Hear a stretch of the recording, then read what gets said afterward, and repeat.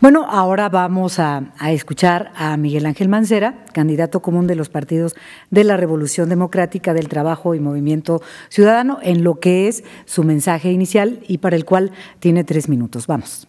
Muchas gracias, Adriana. Buenas noches. Muy buenas noches, querido público. Muy buenas noches, candidatas. Buenas noches a todos.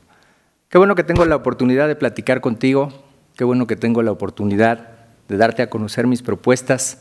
Qué bueno que te puedo decir ¿Por qué quiero ser jefe de gobierno de esta ciudad? Es muy simple, es muy sencillo.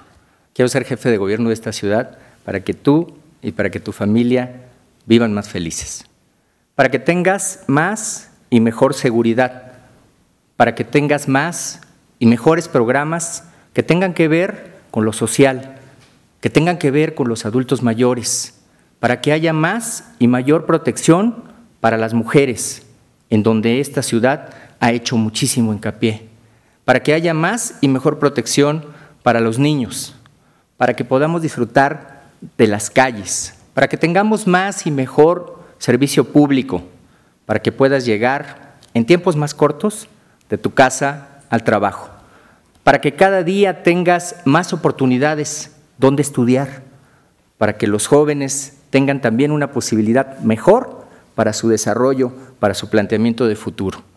Para que las madres que tienen que enfrentar el desarrollo de los hogares de manera aislada, de manera solitaria, cada vez tengan más oportunidades, tengan más oportunidad de acercarse a los procesos productivos, para que podamos ocuparnos de los niños desde que inician su formación hasta que son adultos y llegan a un desarrollo.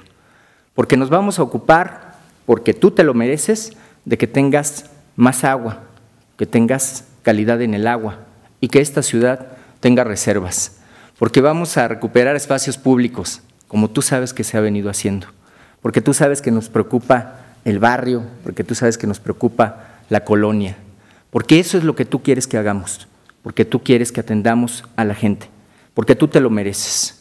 En resumen, quiero ser jefe de gobierno, quiero dar continuidad a muchas de las políticas que tú sabes que han dado resultado y que hoy son ejemplo en muchos países y en muchos de los estados de este país.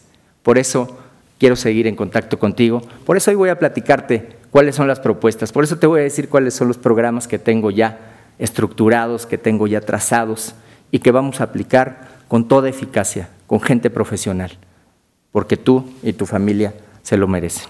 Muchas gracias.